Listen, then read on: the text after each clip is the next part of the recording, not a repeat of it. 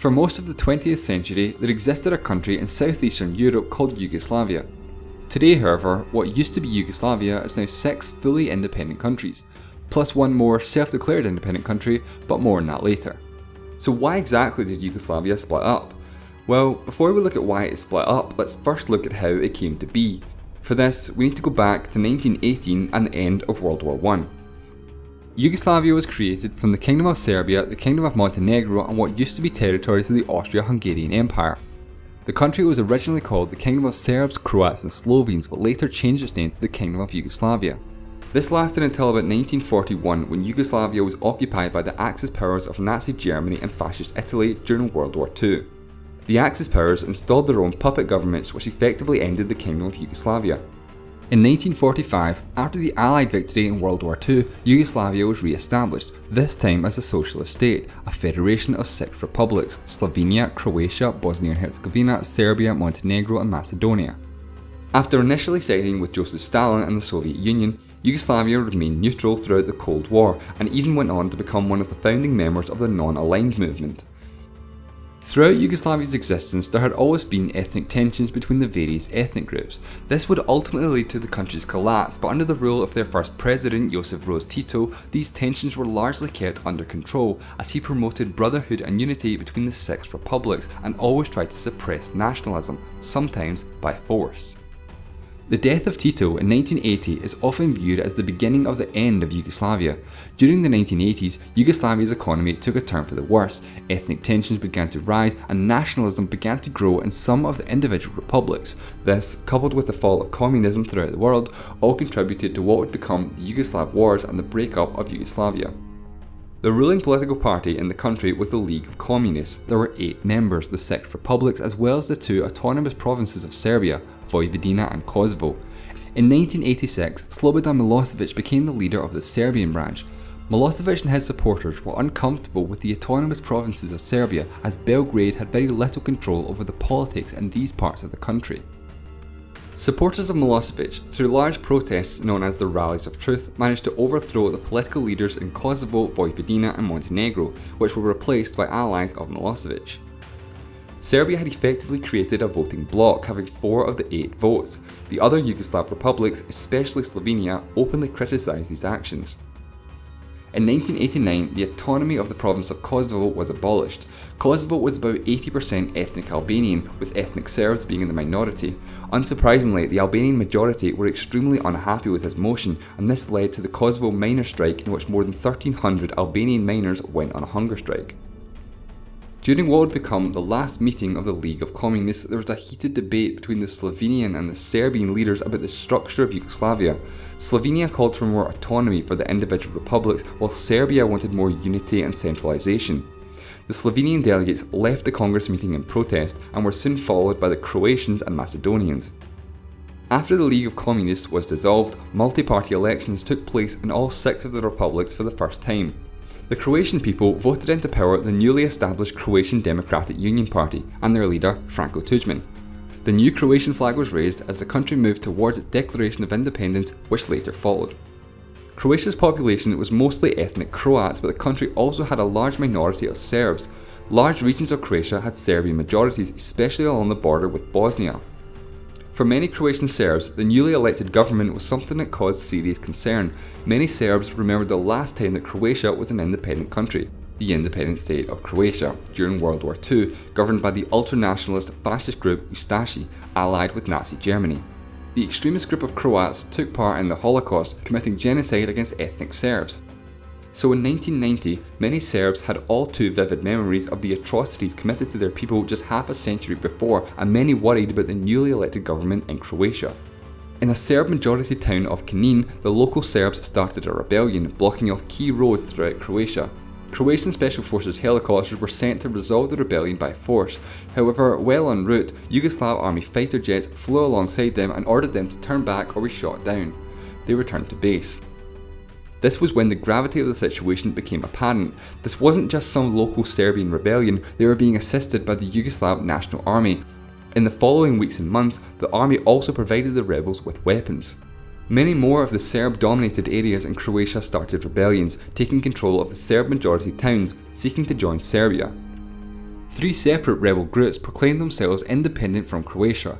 These three groups would later join together and seek unification with Serbia. On the 25th of June 1991, Slovenia and Croatia both officially declared their independence. Of course, by this point, the Yugoslav wars had already begun, but they were thus far mostly confined to Croatia between the Croats and the Serbs. However, with Slovenia declaring their independence, this brought them into the war as well. The Yugoslav army travelled to Slovenia with a goal of asking them to politely reconsider their independence. Two days after their declaration of independence began what became known as the 10 day war between Slovenia and the Yugoslav army, Relative to the other wars within Yugoslavia, there were very few casualties.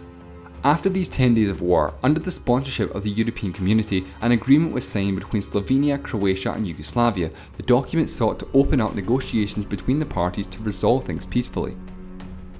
Yugoslavia withdrew their army, but the agreement did very little to actually stop the fighting. Yugoslavia were preparing for a massive attack on Slovenia with tanks, air force and artillery. Their military power was far superior and they could easily take control of Slovenia. However, Serbia's authorization was required, but Serbia refused. The Serbian representatives within Yugoslavia didn't care if Slovenia left. Slovenia was a country of almost entirely ethnic Slovenes, because there were very few Serbs within Slovenia, Serbia didn't care if they left. Croatia, on the other hand, was a different story, therefore Serbia were unwilling to let them leave so easily. The Croatian president publicly stated that he would defend every inch of Croatia. Serbian nationalists in Croatia had already taken control of a dozen towns and villages, but things took a turn for the worse in the Croatian border town of Vukovar, where the conflict escalated between Croatia and the rebel Serbs the Yugoslav army sent a huge force to the Croatia-Serbia border, claiming to be a neutral peacekeeping unit. Together, the Yugoslav army and the Croatian Serbs pushed forward taking control of more and more villages, some of which had been entirely populated by Croats They were no longer just taking control of Serb-dominated parts of Croatia.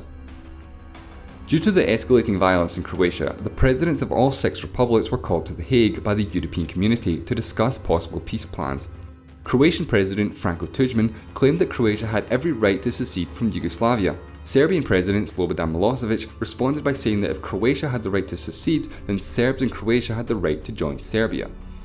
European peace negotiator Lord Carrington presented Milosevic with a question Would you be willing to accept the independence of Croatia subject to the human rights of Serbs outside of Serbia? To Lord Carrington's surprise, he said yes.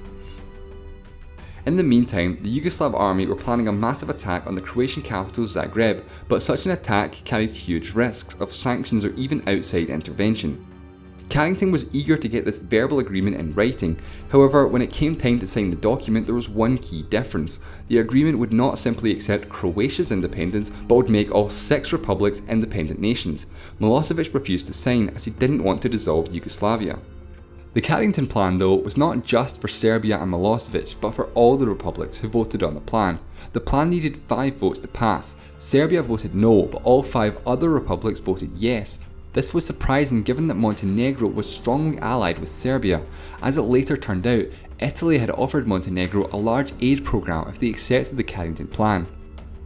The plan was set to go ahead, but Serbia later blackmailed the Montenegrin president to send a letter to Lord Carrington and change his vote, or be outed to the public as a traitor to Yugoslavia.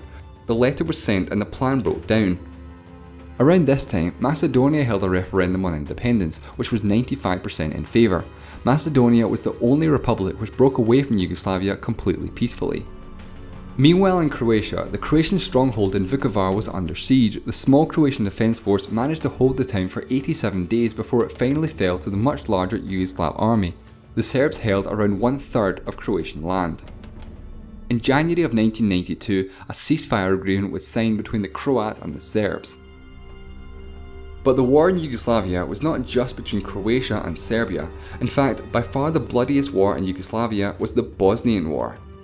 Bosnia and Herzegovina was the most multicultural of the republics and had three main ethnic groups. The largest were the Bosniaks, often referred to as Bosnian Muslims, but there was also a very large minority of Serbs and a smaller minority of Croats. The Bosnian Serb leader issued a firm warning to the Bosnian government not to pursue independence, but in February 1992, Bosnia and Herzegovina held a referendum. Most Bosniaks and Croats voted in favour, while the majority of Serbs boycotted the vote.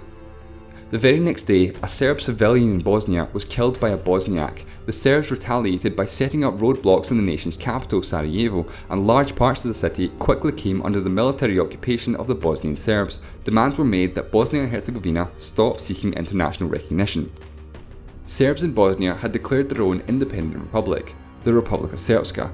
All Bosnian Serbs within the Yugoslav army were transferred to the Bosnian Serb army. On the 27th of April 1992, the Socialist Federal Republic of Yugoslavia officially came to an end as a new constitution was adopted with the proclamation of the Federal Republic of Yugoslavia consisting of just two of the six republics, Serbia and Montenegro. The United Nations denied the request to automatically continue membership as Yugoslavia. Bosnian Serbs began to take control of all the Serb majority areas in Bosnia, as well as many Muslim towns near the Serbian border. As well as this, they also began sporadic mortar attacks on Sarajevo. The Bosnian capital would be under siege for nearly four years. In the beginning of the Bosnian War, Bosniaks and Croats were allied with each other as they were both fighting a common enemy. However, Bosnian Croats had similar ideas to Bosnian Serbs to take control of the Croat majority parts of Bosnia and join Croatia. Like Serbs, however, the Croat forces didn't just take control of Croat towns. The Bosnian Croats proclaimed the Croatian Republic of Herzegovina Bosnia a separate state from Bosnia and Herzegovina. In May of 1993, a United Nations commander was sent to the town of Srebrenica, which had become a refuge for Bosnian Muslims who fled their home. He was welcomed into the town with open arms, but when it came time for him to leave, a crowd of people wouldn't let him. They wanted him to guarantee their safety and demanded help from the west. The Bosnian Serbs already had the town surrounded. The commander went against UN policy and announced the town was under UN protection. Later, a unanimous UN resolution was adopted which declared Srebrenica and other Muslim populated regions as a safe area. The international community devised a plan, the Vance Owen Plan, which would divide the country into 10 ethnic provinces, 3 Bosniak, 3 Serb, 3 Croat, as well as the neutral capital Sarajevo. The Bosnian president, the Croatian president, and the Bosnian Croats had all agreed to the plan. The Serbian president urged the Bosnian Serbs to agree to the plan as well, but through their military conquest, they had already taken control of about two thirds of Bosnia and Herzegovina. Accepting the Vance Owen plan would mean giving up about 25% of their currently held territory, so the plan ultimately broke down. The Bosniaks and the Croats signed a peace treaty in Washington as the Americans demanded that Croatia stop their war against the Bosnian Muslims or face sanctions. They agreed to this as they wanted help from the West to retake their own land in Croatia. In February of 1994, a mortar attack on Sarajevo's marketplace caused the death of 68 civilians. In response to this, NATO issued the Bosnian Serbs with an ultimatum withdraw your heavy weapons from the hills of Sarajevo within 10 days. The Bosnian Serbs rejected the ultimatum. The Bosnian Serbs wanted to show their military superiority over the Bosniaks and show that they could not be bullied by the West. They launched a mortar attack at a hospital in the town of Gorazde, a UN safe area. NATO responded with an airstrike of a Bosnian Serb command post, and they retaliated by surrounding and taking hostage 150 UN personnel. One of the other UN safe areas, Srebrenica, well under UN military protection, was forcibly taken in what became known as the Srebrenica massacre, where thousands of civilians were killed. With the violence at an all-time high in Bosnia, another mortar attack on Sarajevo and another 37 civilians killed was the final straw, and a full-scale NATO bombing campaign began against the Bosnian Serbs. President Milosevic of Serbia demanded that the Bosnian Serbs allow him to negotiate a peace treaty on their behalf, cutting all ties and support from Belgrade. Meanwhile, back in Croatia, the Croatian government had been preparing for several years to retake their land. In May and August of 1995, Croatia launched two large-scale military assaults on the Serb-controlled parts of Croatia. By this point, the Croats had a far stronger military. The vast majority of Serbs fled the country, even communities that had lived in Croatia for centuries. Many Serb villages were burnt to the ground to ensure the Serbs never returned. With the Bosnian Serbs weakened, the Croats and the Bosniaks worked together in Bosnia, taking as much land as they could. Serbs fled to Serbia and Montenegro. The Americans urged them to stop as they wanted a peace treaty to be signed.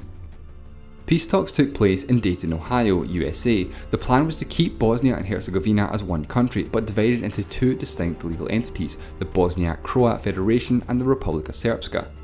After 17 days of negotiating and several redrawn maps, the peace treaty was finally signed between all parties. This peace treaty, which put a stop to the wars in Yugoslavia, was not quite the end of the violence. in the late 90s, war broke out between the Albanian majority in Kosovo against Serbia as they seek their independence. Backed by NATO, the Kosovo Liberation Army took effective control of Kosovo.